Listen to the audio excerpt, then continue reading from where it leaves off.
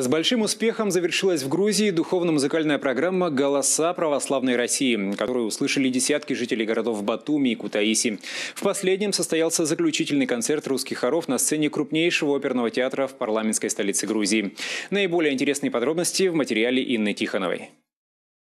Кутаиский центр оперы и балета имени Мелитона Баланчевадзе, на сцене которого выступал сам Шаляпин, имеет такую же старинную и богатую историю, как и грузинский город. На один вечер это место стало центром русской музыкальной культуры.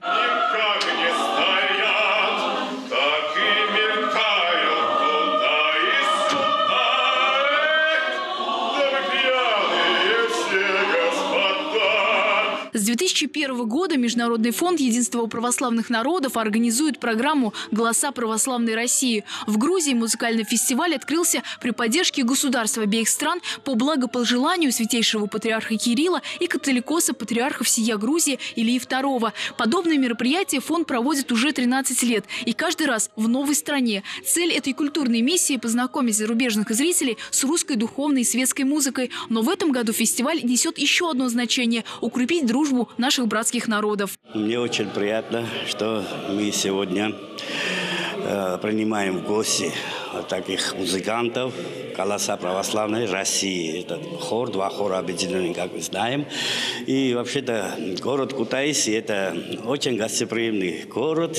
И всегда рады гостям. И что вот песня тоже, вы хорошо знаете, что в Грузии песня – это очень такой э, возвышенный, так, потому что в голосах петь, и вот такой хор, что вот э, полифония – это очень такой приятный, приятно слушать. Впервые перед грузинской публикой выступили два певческих коллектива. Это камерный хор «Классика» и студенты Московского музыкального института имени Шнитке. Несмотря на юные годы, ребята показали себя профессионалами высочайшего класса.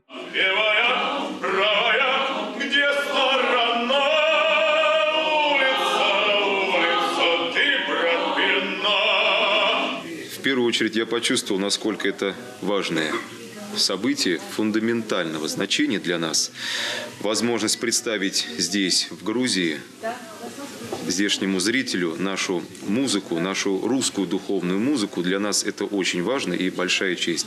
Место проведения музыкального фестиваля выбрано не случайно. Кутаиси – древний дохристианский и христианский грузинский город, о чем свидетельствуют духовные памятники. Храм Баграта, освященный в 1003 году в честь Успения Богородицы, и Геладский монастырь, который был построен Давидом VI в 1106 году. Сегодня обитель является центром церковной и культурной жизни. Замечательно теплый публика людей, мне кажется, они истосковались именно о русской культуре.